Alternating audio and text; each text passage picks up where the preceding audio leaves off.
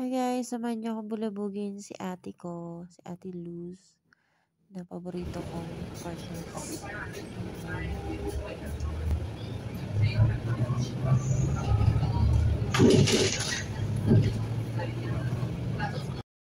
Ayun, ang view. Papuntang bundok.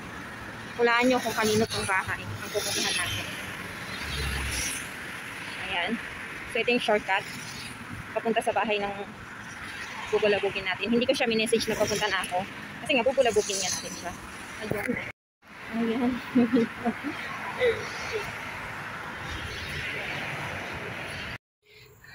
ito yung scenery na makikita mo pag akyat mo papunta sa bahay ng bubulabugin natin. Ayan.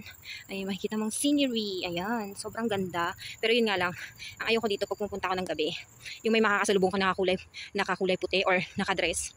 Tapos ang minsan madilim dito sa gabi. So, dati madilim pala. Ayan. Hiningal ako. Ikaw ba naman? Oh. Ayan, kasi bihira lang naman ako umakyat dito. Ayan. Nakakahinga umakyat dito. Ayan, tatawagan ko na natin yung bubulabugin natin para alam niyo, dito na ako sa harap ng gate nila. So, ito na yung bahay ng bubulabugin natin. Hindi ko pwedeng pakita yung address kasi malalagot ako sa kanya. Ayan, mag-shortcut tayo. Dito. Ayun, di ba? Ang gondo-gondo. Bubulabugin natin siya. Company. So, ayan na siya.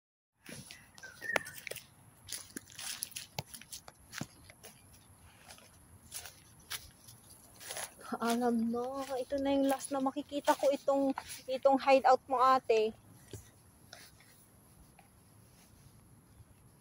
Actually, may pinunta ako dito. Ito na. Tada! Ikat. Oh, my house for five years. Bye-bye. With my my partner in crime. Ipanood natin.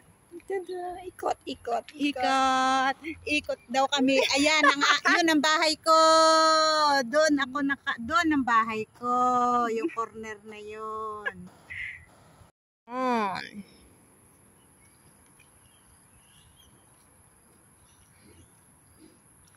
So, ayun na nga, kailangan ko na umuwi at magdidilim na uulan pa. Ito nga, punta ako ng Bayo Dollar kasi. Umura mo, umurahin ang bibilhin. Ito ang paboritong place ng mga OFW na katulad kong Pilipino na gustong magtipid kasi may mura-mura dito. Hindi mura, ha? mura. As in cheap. So, pwedeng pampalagay sa box. So, ayun na nga. Pumunta ako ulit sa bahay nila kasi nga may nakalimutan akong kunin or may kukunin akong painting kasi sayang naman. Ayan. Siya guys. Pag pumunta ka ng gabi dito, prepare your heart na hindi ka magugulat sa, masas sa makakasalubong mo. Ayan. Last day na kasi nila ngayon. Kaya kailangan maklear na lahat ng gamit sa bahay nila. Kaya na tayo from baba. Nakakit na tayo. Ayan. Aray ko. Ayan, ayan, ayan. Hindi siya ba sa camera siya. eh. Ganda ng araw. Ayan. Sikat na sikat yung araw dito. Ayan, I mean is sobrang liwanag ng araw. Ayan. Oh. Kapanda of. Bakas ang pintuan. At may mumu.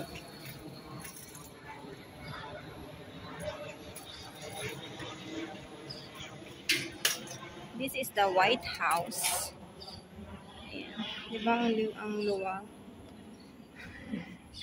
Sabi ni ate, pumasok na ako pero ano, medyo natatakot ako kasi mag-isa lang ako. Tapos wala pang mga tao sa mga bahay-bahay dito. Kaya yun, tignan mo naman. Yan.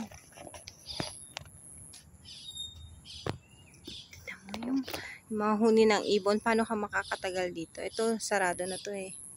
Sarado na to. Yung sarado na din. Ito na lang yung bukas. Yan. Tinakpan na din nila yung swimming pool sa likod. Ayan. This is the houses. Houses. Ayan. Isang bahay to. Tapos yung pangalawa. Tapos yung pangatlo. Kaya houses. Hindi siya house. Kasi tatlo sila. Di ba nakaka-relax dito? Yun nga lang kasi sobrang laki ng bahay na hindi mo alam kung ano yung uunahin mo.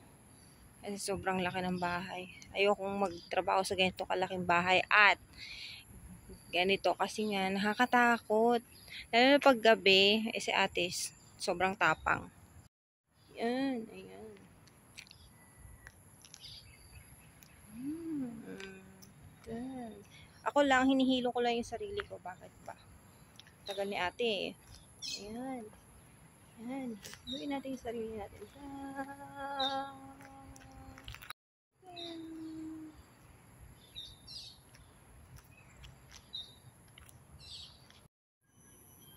Ayan, sobrang luwang ng garden ni ate. Ayan. Mula pa yan sa likod hanggang doon.